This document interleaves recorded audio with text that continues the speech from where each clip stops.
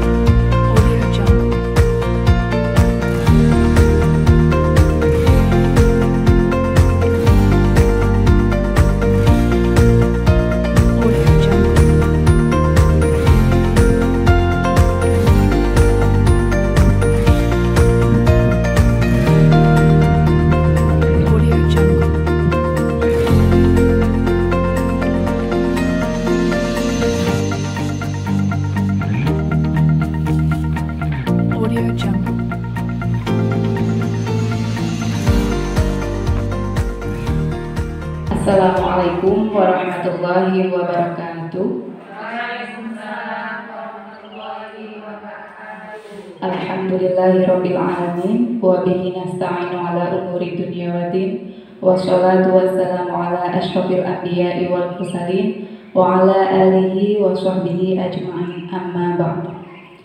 Yang saya hormati Bapak Kepala Sekolah, Bapak Hendro Siswantoro, serta Bapak Ibu guru yang sempat hadir pada kesempatan kali ini yang saya hormati. Pertama, marilah kita panjatkan puji syukur kita kehadirat Allah Subhanahu wa taala yang mana pada kesempatan kali ini kita masih diberikan kesehatan sehingga kita dapat berkumpul di ruangan ini dalam keadaan sehat walafiat amin Allahumma amin.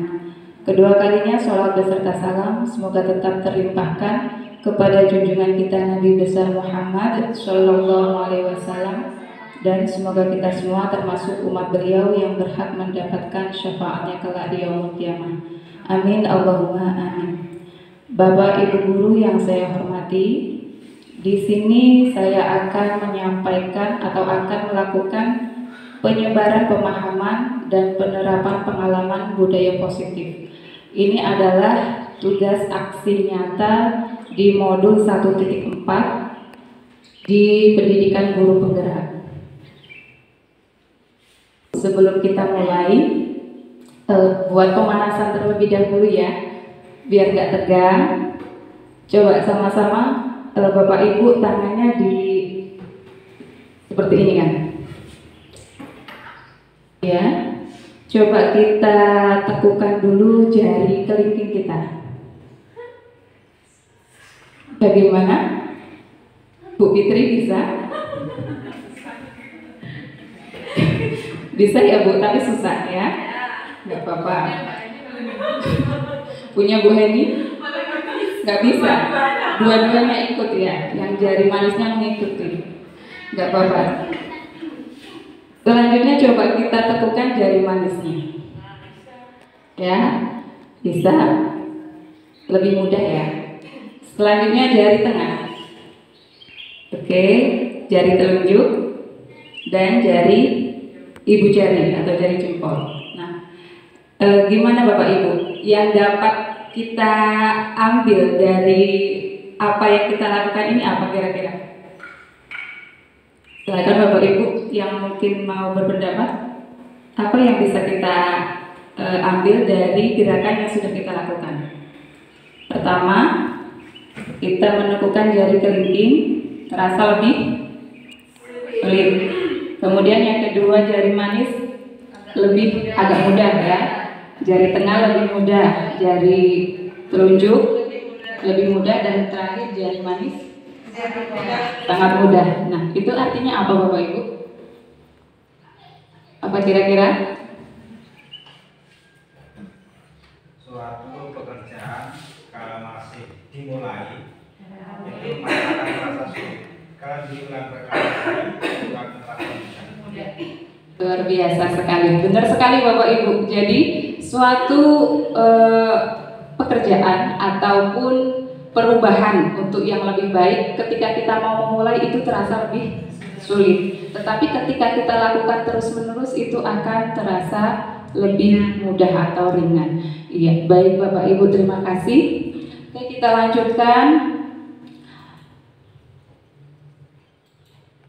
konsep inti budaya positif. Bapak Ibu di sini eh, di modul 1.4 tentang budaya positif itu ada beberapa poin yang dipelajari yaitu terkait yang pertama perubahan paradigma belajar, kemudian disiplin positif, nilai-nilai kebajikan, kebutuhan dasar manusia, motivasi perilaku manusia, posisi kontrol guru, keyakinan kelas, dan segitiga restitusi.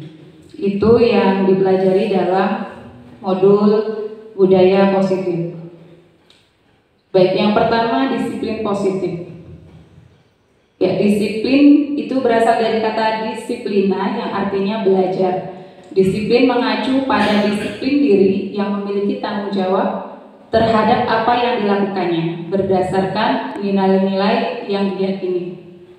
Nah, disiplin positif merupakan salah satu cara penerapan disiplin yang bertujuan untuk menumbuhkan kesadaran serta memberdayakan peserta didik tanpa imbalan penghargaan atau reward ancaman atau hukuman. Nah, kita sebagai seorang guru, sebagai pendidik, tujuan kita adalah menciptakan peserta didik yang memiliki disiplin diri sehingga mereka berperilaku mengacu kepada nilai-nilai kebajikan universal dan memiliki motivasi intrinsik dalam perubahan perilaku ke arah yang lebih baik.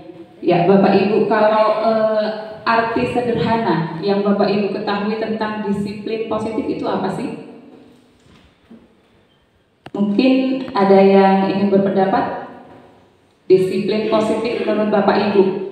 Sepemahaman Bapak Ibu selama ini tentang disiplin positif itu bagaimana? membiasakan diri untuk selalu berbuat baik. Membiasakan diri untuk selalu berbuat baik. Iya, luar biasa. Yang lainnya, Bapak Ibu? Cukup ya? Disiplin positif membiasakan diri untuk selalu berbuat baik.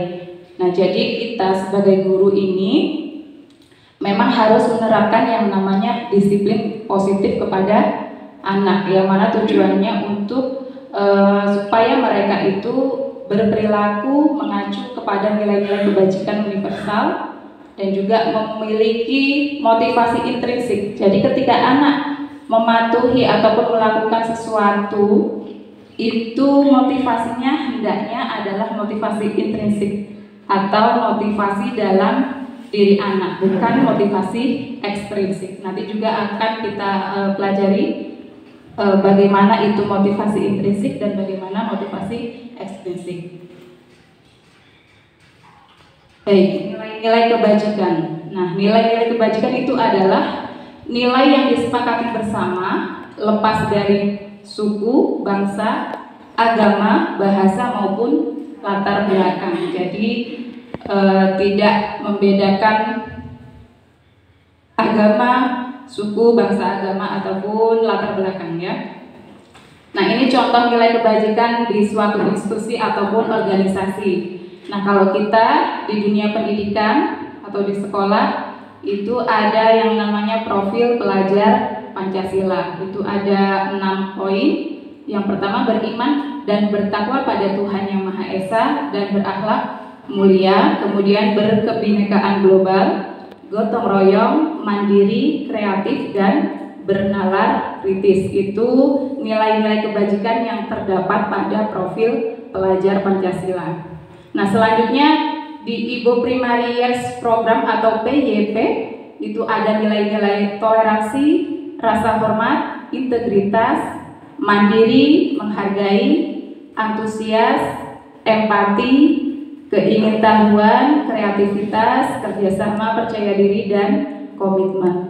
Kemudian untuk yang selanjutnya keterampilan hidup atau life skill itu nilai kebajikannya ada dapat dipercaya, lurus hati, pendengar yang aktif, tidak merendahkan orang lain, dan memberikan yang terbaik dari diri.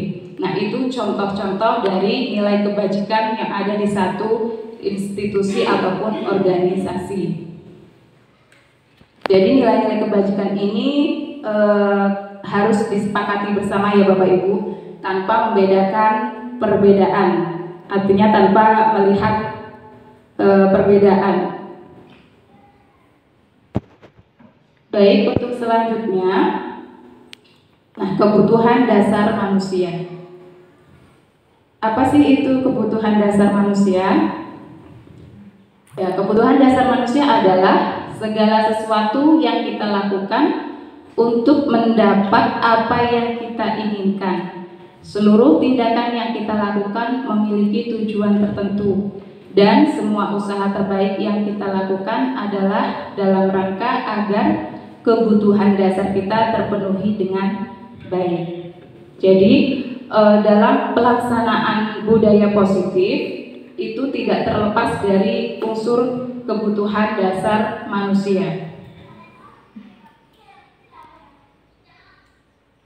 Baik, ada lima kebutuhan dasar manusia, Bapak Ibu. Di sini yang pertama yaitu e, bertahan hidup. Itu meliputi makanan, pakaian, tempat tinggal, keamanan dan kesejahteraan. Kemudian kebutuhan yang kedua, kasih sayang dan rasa diterima. Itu meliputi dipedulikan, kemudian berbagi, kerjasama, menjadi bagian dalam sebuah kelompok. Kemudian yang ketiga, kebutuhan dasar penguasaan. Meliputi harga diri, keinginan untuk dianggap, memimpin, berpartisipasi, kemudian diakui dan didengar. Kebutuhan yang empat yaitu kebebasan meliputi memiliki pilihan, mencoba hal baru, mampu mengendalikan arah dirinya. Dan yang kelima, eh, kebutuhan tentang kesenangan, seperti bermain, humor, antusiasme, ataupun tertawa. Nah, itu lima kebutuhan dasar manusia. Jadi sesungguhnya manusia itu memiliki lima kebutuhan dasar yang yang ada pada setiap manusia. Nah, motivasi perilaku manusia. Nah, Bapak Ibu, eh, tugas kita sebagai seorang guru hendaknya itu mampu memunculkan motivasi diri pada anak, yaitu motivasi internalnya, ya. Supaya apa? Supaya dapat memunculkan pribadi yang menghargai diri sendiri dengan nilai-nilai yang mereka percaya. Tentunya dengan cara e, hindari hukuman dan pemberian penghargaan berlebihan agar meminimalisir motivasi eksternal pada murid. Karena begini Bapak Ibu, ketika anak itu e, melakukan ataupun mematuhi peraturan yang ada, tetapi ketika dia melakukannya itu karena e, takut hukuman ataupun karena ingin mendapat pujian ataupun imbalan itu artinya motivasi yang muncul masih motivasi eksternal. Belum motivasi internal. Nah tugas kita sebagai guru itu hendaknya bagaimana caranya kita bisa memunculkan motivasi internal pada diri anak. Seperti itu.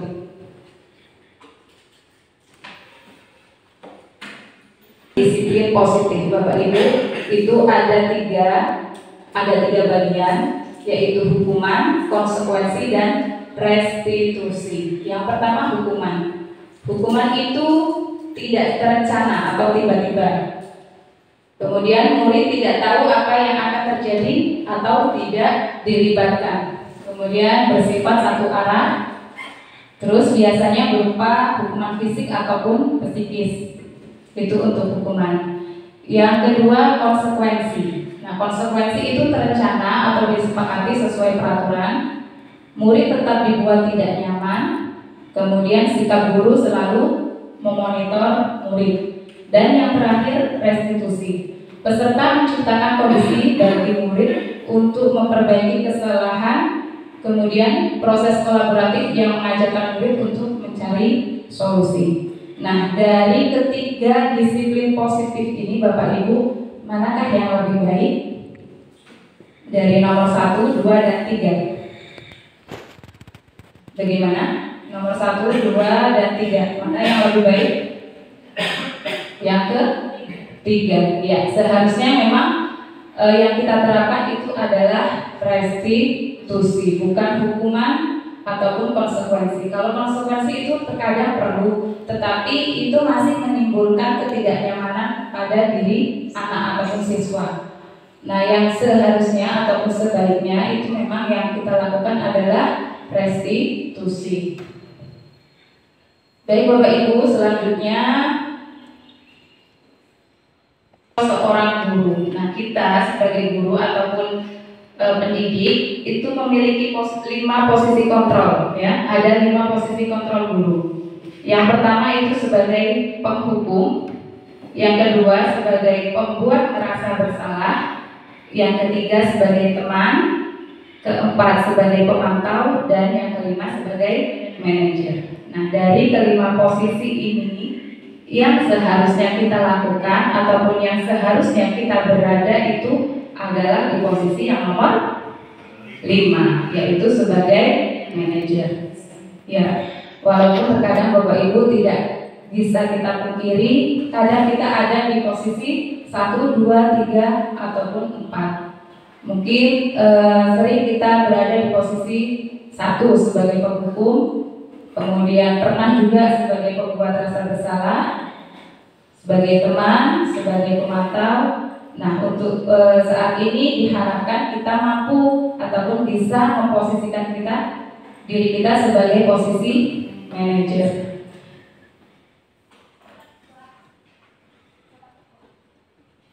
Selanjutnya contoh penerapan lima posisi kontrol guru. Nah ini ada kasusnya siswa tidak memakai atribut lengkap saat upacara. Nah yang pertama ada hormat pada bendera selama satu jam. Jadi ada siswa yang melanggar peraturan ataupun e, tidak memakai atribut lengkap saat upacara. Itu yang pertama guru melakukan ataupun e, berperan sebagai penghukum. Contohnya hormat pada bendera selama satu jam. Itu adalah contoh sebagai posisi kontrol sebagai penghukum. Kemudian yang kedua eh, pembuat merasa bersalah. Contoh kalimatnya seperti ini Bapak Ibu. Misalnya berapa kali eh, ibu atau bapak harus memberitahu kamu kamu selalu saja mengecewakan ibu atau bapak. Nah itu uh, posisi kontrol sebagai pembuat merasa bersalah. Jadi seolah-olah di situ anak dipojokkan atau dipersalahkan.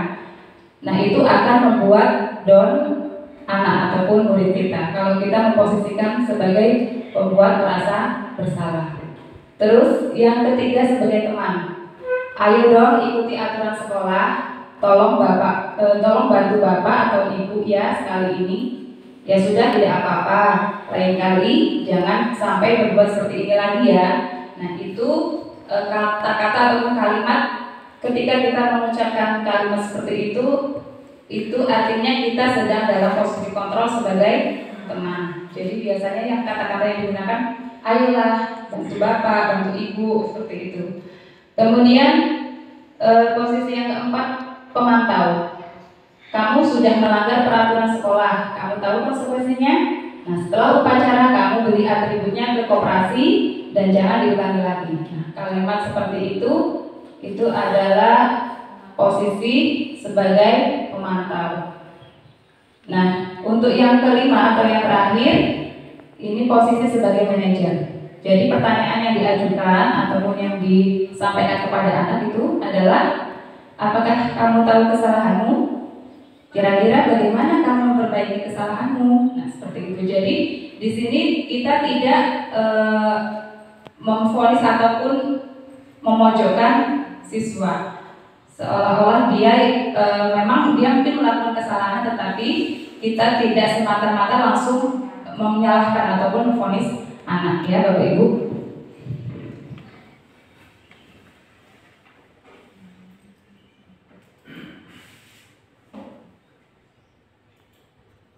Posisi kontrol apakah aku? Di sini yang pertama ada kalimat saya kecewa sekali dengan kamu. Nah, itu kira-kira posisi kontrol apa? Dari kelima posisi kontrol yang ada, kira-kira pernyataan ataupun kalimat seperti itu lebih tepat di posisi kontrol apa Bapak Ibu? Pembuat merasa bersalah. Benar Bapak Ibu? Ya benar, pembuat merasa bersalah. Kemudian yang kedua, kamu tidak pernah benar melakukannya. Ini sebagai penghukum, ya benar. Kamu tidak pernah benar melakukannya, itu posisi kontrol sebagai penghukum. Kemudian apa rencanamu? Apa rencanamu untuk menyelesaikan masalah ini? Manajer, ya. Terus, ayolah lakukan demi bapak ibu, teman. Dan yang terakhir, kamu tidak dapat, kamu tidak dapat, kamu tidak pernah mendapat nilai jika tidak mengerjakan tugas pemantau ya. Jadi ini contoh-contoh kalimat yang kita gunakan ataupun eh, yang bisa melihat posisi kontrol kita itu sebagai apa ya, Bapak Ibu. Selanjutnya keyakinan kelas. Nah, mengapa keyakinan kelas? Mengapa bukan peraturan kelas? Nah, Bapak Ibu, jadi ternyata keyakinan kelas itu penting untuk diterapkan ataupun dilakukan ya. Jadi setiap kelas itu hendaknya memiliki keyakinan kelas yang dibuat oleh wali kelas dan disepakati bersama dengan murid. Jadi eh, keyakinan kelas itu dibuat bersama. Keyakinan kelas itu berupa pernyataan-pernyataan positif, ya. Jadi hindari pernyataan negatif. Pernyataan positif itu seperti apa Bapak Ibu? Ataupun pernyataan negatif itu seperti apa? Nah, biasanya pernyataan-pernyataan negatif itu ada menggunakan kata jangan atau tidak boleh misalnya jangan membuang sampah sembarangan. Nah, itu ada kata jangan di situ ada kata negatif. Nah, hendaknya di, dihindari kata negatif. Sebaiknya kita ganti dengan apa Bapak Ibu kira-kira? Kalau misalnya di dalam kelas kita ingin menerapkan e, aturan supaya menjaga kebersihan kelas seperti itu ya. Berarti e, kata-katanya tidak menggunakan kata-kata negatif, e, tidak boleh kata jangan ataupun kata tidak. Tapi kita ganti dengan pernyataan positif. Berarti gimana?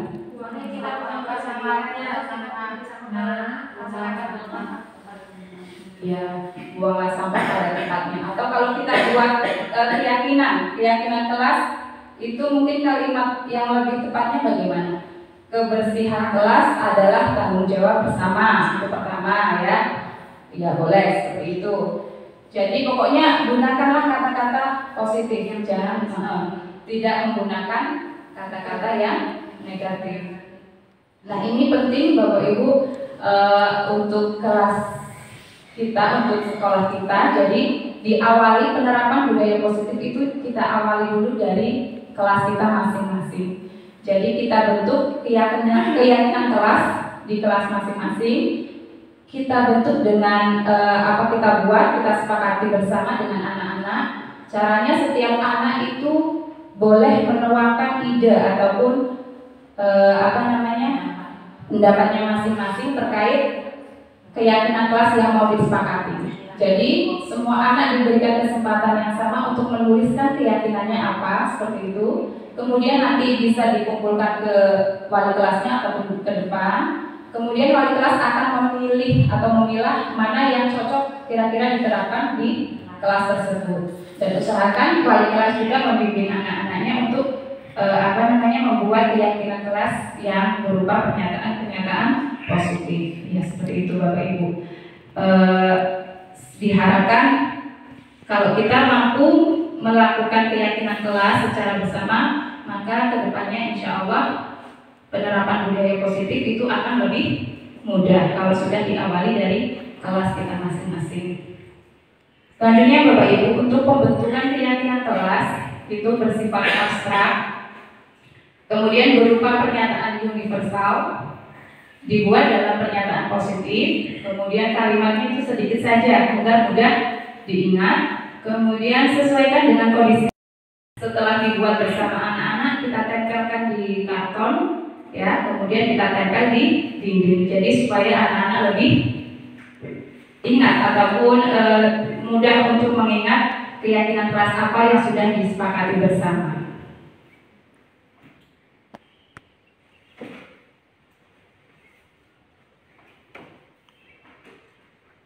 Ini adalah segitiga restitusi. Apa itu segitiga restitusi? Segitiga restitusi adalah suatu proses dialog yang dijalankan guru agar dapat menghasilkan murid yang mandiri dan bertanggung jawab. Nah, dalam segitiga restitusi ini ada tiga tindakan yang bisa dilakukan ataupun ada tiga tahapan yang bisa dilakukan. Yang pertama yaitu menstabilkan identitas, Bapak Ibu. Kemudian yang kedua, validasi tindakan yang salah. Dan yang terakhir, menanyakan keyakinan. Adapun biasanya di bagian menstabilkan identitas itu kata-kata yang digunakan eh, setiap orang pasti pernah melakukan kesalahan. Kamu bukan ataupun satu-satunya orang yang pernah melakukan itu. Itu biasanya kalimat ataupun kata-kata yang digunakan ketika eh, ada di tahapan menstabilkan identitas. Kemudian kalau di tahapan yang kedua, validasi tindakan yang salah. Kamu tentu punya alasan mengapa melakukan itu.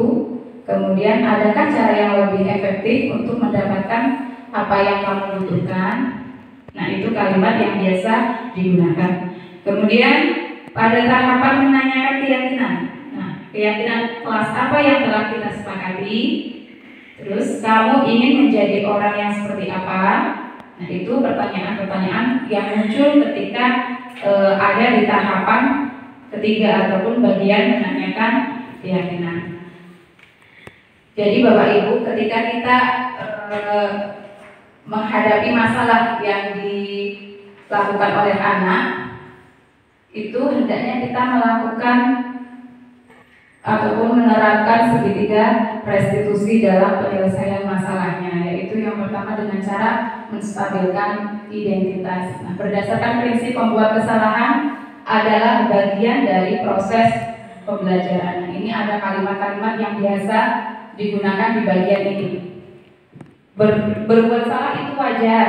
Tidak ada manusia yang sempurna. Ibu atau bapak juga pernah melakukan itu. Ibu atau bapak tidak mau mencari siapa yang salah, tapi ibu atau bapak ingin mencari solusi dari permasalahan ini. Kemudian kamu berhak merasa begitu. Nah, itu kata-kata ataupun kalimat yang bisa kita gunakan ketika kita e, sedang melakukan bagian menstabilkan identitas. Selanjutnya, validasi tindakan yang ini berdasarkan prinsip setiap perilaku berupaya memenuhi suatu kebutuhan tertentu. Nah, di sini kalimatnya ada, kamu pasti punya alasan mengapa melakukan hal itu. Padahal kamu bisa melakukan yang lebih buruk dari ini ya. Kamu patut bangga karena telah melindungi sesuatu yang penting bagimu. Kamu melakukannya karena mempertahankan sesuatu yang penting bagimu. Nah, ini pertanyaan yang bisa kita sampaikan kepada anak ketika kita sedang melakukan validasi tindakan yang salah. Dan yang terakhir, menanyakan keyakinan. Dan yang terakhir, menanyakan keyakinan. Berdasarkan prinsip teori kontrol, bahwa pada dasarnya kita termotivasi secara intrinsik. Jadi, e, pertanyaan yang muncul ataupun yang disampaikan kepada anak bisa berupa apa keyakinan kelas kita. Jadi, kita mengingatkan kepada anak terkait keyakinan kelas yang sudah kita sepakati bersama. Kemudian nilai-nilai apa saja yang telah disepakati bersama? Seperti apa gambaran sebuah kelas yang ideal menurut kamu? Kemudian kamu ingin menjadi orang yang seperti apa? Nah itu e, beberapa pertanyaan yang bisa kita sampaikan kepada anak untuk menanyakan keyakinan. Jadi di sini kita mengingatkan anak tentang keyakinan kelas yang sudah disepakati bersama, kemudian mengidentifikasi keyakinan mana yang sudah dilanggar oleh anak tersebut, dan kita berupaya untuk menemukan ataupun mencarikan solusi dari masalah yang dihadapi oleh anak dengan e, bersama-sama mencari solusinya dengan anak tersebut.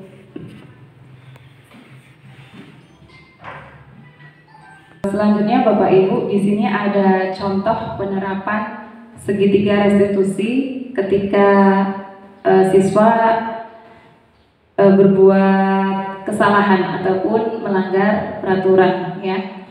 Di sini contohnya si Rizky, si Rizky ini dia terlambat datang ke sekolah. Nah, ini penerapan segitiga restitusinya. Nah, kalau bisa ambil dari sini, tidak tidak ada. Jadi ini Rizky. Tadi pagi Rizky datang ke sekolah jam berapa? Tujuh tiga puluh, tujuh tiga puluh. Eh, Rizky tahu kalau di sekolah kita itu masih jam berapa? Oh, jam berapa? Tujuh lima belas, tujuh lima belas. Nah, itu artinya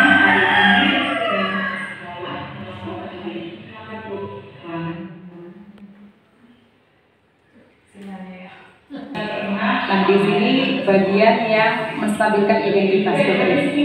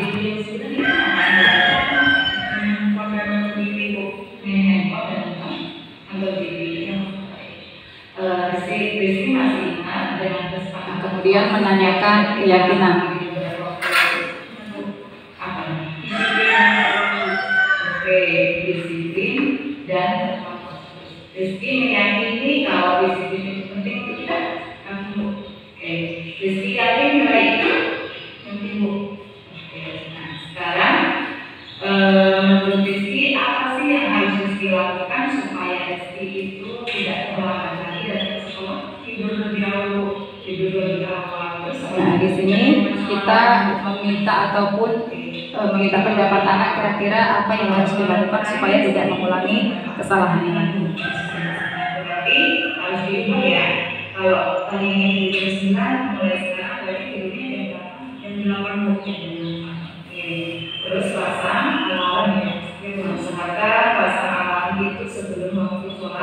Subuh bisa sholat subuhnya ya. Ya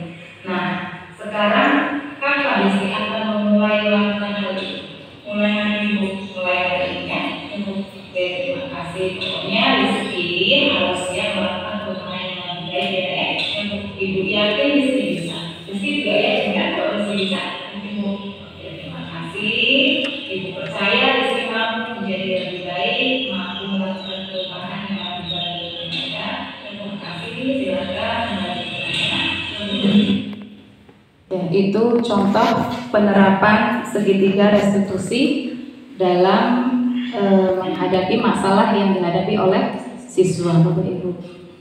Baik, selanjutnya di bagian terakhir penutup. Nah, jadi dalam penerapan program disiplin positif itu hendaknya guru memiliki standar kepribadian, profesional dan sosial yang baik di mana guru mampu merefleksikan dirinya dalam posisi kontrol saat ini. Bagaimana perjalanan dirinya sebagai among ataupun manajer yang bisa menuntun murid-muridnya menjadi insan yang mandiri, merdeka dan bertanggung jawab tentunya sesuai dengan standar nasional pendidikan.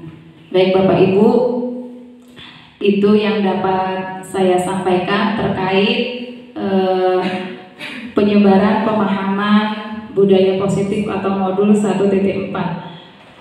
Semoga di sini kita semuanya bisa menjadi lebih baik lagi, bisa menjadi memposisi kontrolkan diri kita sebagaimana mestinya, yaitu sebagai seorang manajer untuk murid-murid kita. Terima kasih Bapak Ibu, semoga ke depannya kita bisa menjadi lebih baik lagi. Eh, apabila ada kesalahan dan kekurangan, saya mohon maaf yang sebesar-besarnya. Saya akhiri. Wassalamualaikum warahmatullahi wabarakatuh. Bismillahirrahmanirrahim. Assalamualaikum warahmatullahi wabarakatuh. Saya Rida Lestari, teman sejawat dari Ibu Mungisatul Hasanah yang saat ini sedang menjalankan pendidikan guru penggerak angkatan 11 Kabupaten Waikanan. Dari pemaparan pemahaman budaya positif yang telah disampaikan oleh Bu Isa, saya menyadari betapa pentingnya penerapan keyakinan kelas dalam upaya menumbuhkan budaya positif di kelas maupun di sekolah. Selain itu juga saya mengetahui posisi kontrol seorang guru yang seharusnya itu adalah manajer. Saya juga bisa membedakan antara hukuman dan konsekuensi. Terima kasih atas diseminasi yang telah dilakukan Bu Isa sangat bermanfaat. Semoga Bu Isa selalu diberi kesehatan dan bisa menjalas, menjalankan pendidikan guru penggerak dengan baik. Terima kasih. Wassalamualaikum warahmatullahi wabarakatuh. Assalamualaikum warahmatullahi wabarakatuh. Saya Henifepti Astriani teman sejawat dari Ibu Musatul Hasanah yang saat ini sedang melaksanakan pendidikan guru penggerak Angkatan 11 Kabupaten Waikanan. Dari diseminasi yang telah dilakukan oleh Bu Isa, saya mengucapkan banyak terima kasih karena saya jadi tahu bagaimana posisi kontrol seorang guru yang seharusnya. Selain itu, saya juga bisa membedakan antara hukuman dan konsekuensi. Dan yang terpenting adalah pembentukan keyakinan kelas guna untuk mewujudkan budaya positif di kelas maupun di sekolah. Saya doakan semoga Bu Isa selalu diberi kesehatan dan bisa menyelesaikan pendidikan guru penggerak dengan baik. Terima kasih. Wassalamualaikum warahmatullahi wabarakatuh.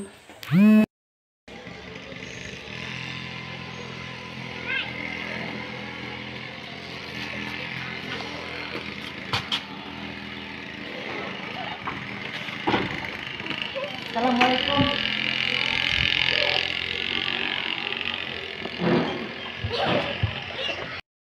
Selamat pagi Rizky. Pagi Bu. Rizky sudah istirahat? Sudah Bu tadi di kantin. Baik. Rizky tahu alasan kenapa Bu bisa panggil Rizky ke sini? Tidak Bu. Tidak tahu. Jadi gini Rizky. Tadi pagi Rizky datang ke sekolah jam berapa? 7.30 Bu. Jam 7.30. Ya. Eh, Rizky tahu kalau di sekolah kita itu masuk jam berapa? Oh, Bu. Jam berapa? 7.15 Bu. 7.15. Nah, itu artinya hari ini Rizky datang ke sekolah terlambat atau tidak? Terlambat, Bu. Terlambat ya. Nah, menurut Rizky, terlambat itu perbuatan baik atau tidak baik sih? Tidak baik, Bu. Tidak baik. ya. Baik. Kalau setiap manusia itu memang pernah melakukan kesalahan ya, Nak, ya. Bu Isa sendiri pernah melakukan kesalahan. Bu Isa pernah terlambat datang ke sebuah acara ya. Begitu juga dengan Rizky hari ini yang terlambat datang ke, ke sekolah. Ya, tapi di sini Bu Isa tidak untuk mencari siapa yang salah ya. Tapi Bu Isa eh, akan mencoba untuk mencari solusi dari keterlambatan Rizky datang ke sekolah hari ini ya ya ya. Ya. Eh, Rizky pasti punya alasan kenapa hari ini Rizky datang terlambat ke sekolah. Nah sekarang coba ceritakan sama Bu Isa kenapa apa alasannya? Tidur terlalu malam Bu. Tidur terlalu malam. Jadi semalam Rizky tidur jam berapa? Jam 9 Bu. Jam 9. Ya, Bu. Nah tidur jam 9 itu ngapain? Belajar ngapain? Main handphone dan nonton TV Bu. Main handphone dan nonton nonton TV ya Bu. Baik. Rizky, Rizky masih ingat dengan kesepakatan kelas yang sudah kita sepakati beberapa waktu lalu? Iya Bu. Apa? Disiplin dan tepat waktu. Oke, disiplin dan tepat waktu. Rizky meyakini kalau disiplin itu penting untuk kita? Yakin Bu. Oke, Rizky yakin nilai itu? Yakin Bu. Oke, nah sekarang eh, menurut Rizky apa sih yang harus Rizky lakukan supaya Rizky itu tidak terlambat lagi datang ke sekolah? Tidur lebih awal Bu. Tidur lebih awal. Terus apa lagi? Dan memasang alarm Bu. Masang alarm. Oke. Tidur lebih awal. Kalau kemarin-kemarin Rizky tidurnya jam berapa? Jam 9 Bu. Jam 9. Nah berarti harus diubah ya. Kalau tadinya tidur jam 9, mulai sekarang berarti tidurnya jam berapa? Jam 8 Bu. Jam 8. Oke. Terus pasang alarm ya. Ya Bu. Usahakan pasang alarm itu sebelum waktu sholat subuh supaya Rizky bisa sholat subuh ya ya. Ya Bu. Baik. Nah sekarang kapan Rizky akan memulai melakukan hal itu? Mulai hari ini Bu. Mulai hari ini ya. Ya Bu. Oke. Terima kasih. Pokoknya Rizky harus ya melakukan perubahan yang lebih baik ya Nak ya. Yang Ibu yakin Rizky bisa. Rizky juga yakin kan kalau Rizky bisa? Yakin Bu. Oke, terima kasih. Ibu percaya Rizky mampu menjadi lebih baik, mampu melakukan perubahan yang lebih baik ya Nak ya. Terima kasih. Silakan kembali ke kelas.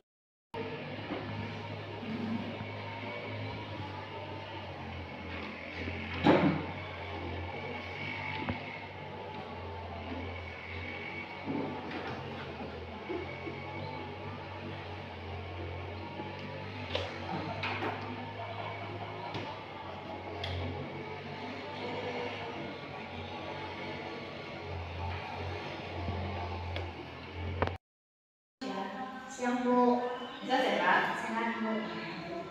Mesya tahu nggak kenapa Mesya ibu panggil ke sini? Enggak Bu. Enggak. Ya, jadi gini Mesya, tadi pagi waktu kita ulangan, ulangan harian ya, ibu melihat Mesya waktu mengerjakan soal itu melihat jawaban jawaban punya teman yang di depannya punya Rahma. Nah itu benar atau tidak? Benar. Benar ya. Iya. Nah, menurut Mesya perbuatan Mesya itu perbuatan yang baik atau tidak baik? Tidak baik. Tidak baik ya. Ya, memang semua manusia itu pernah melakukan kesalahan. Ibu Isa juga pernah melakukan kesalahan. Begitu juga dengan Isya, mungkin juga pernah melakukan kesalahan. Namun di sini Bu Isa bukan untuk mencari siapa yang salah. Tapi di sini Bu Isa mau mencoba mencari men- eh, mencarikan solusi dari masalah yang dihadapi. Nah, menurut Mesya, kira-kira apa sih alasan Mesya kok melakukan hal itu? Karena dari malam tidak belajar Bu. Tadi malam tidak belajar. Iya. Jadi eh, semalam Mesya tidak belajar kenapa? Eh, kenapa kok tidak belajar? Karena main handphone Bu. Main handphone. Jadi lupa belajar. Ya. Iya. Akhirnya pagi-pagi tidak bisa mengerjakan soal yang ibu berikan ya. Iya Bu. Akhirnya Mesya nyontek seperti itu. Iya Bu. Nah, Mesya, sekarang Mesya masih ingat nggak eh, dengan keyakinan kelas yang sudah kita sepakati beberapa waktu lalu? Masih ingat. Masih ingat. apa itu? Jujur dalam bertindak. Bagus, jujur dalam bertindak. Dan Mesya tahu kalau perbuatan Mesya itu adalah bukan perbuatan jujur. Iya Bu. Tahu ya? Iya. Nah, menurut Mesya, perbuatan jujur itu penting nggak untuk Mesya? Penting Bu. Mesya meyakini hal itu baik untuk Mesya? Yakin Bu. Bagus. Nah sekarang menurut Mesya, kira-kira apa yang harus Mesya lakukan supaya Mesya nantinya tidak melakukan hal itu lagi, tidak melakukan. belajar dengan giat, mengerjakan dengan semampunya Bagus, sekali ya. Jadi seperti itu nak. E, Mesya harus belajar dengan giat, kemudian e, mengerjakan semampunya dan juga berdoa kepada Allah. Kepada Allah. Baik. Nah, kira-kira kapan Mesya akan mulai melakukan hal yang Mesya ucapkan tadi? Mulai hari ini Bu. Oke, mulai hari ini ya. Ya Bu. Oh, bagus sekali. Baik, Ibu percaya Mesya ini bisa menjadi lebih baik ke depan. Percaya Mesya bisa menjadi anak solehah, menjadi kebanggaan kedua orang tua. Mesya juga harus yakin ya, Ya. Mesya bisa berubah menjadi lebih baik ya. Ya. Baik, terima kasih nak. Eh, yang semangat belajarnya, jangan malas-malas, harus rajin, harus giat, harus semangat ya. Ya. Terima kasih, silakan kembali ke kelas ya Nak, ya. Audio Jungle.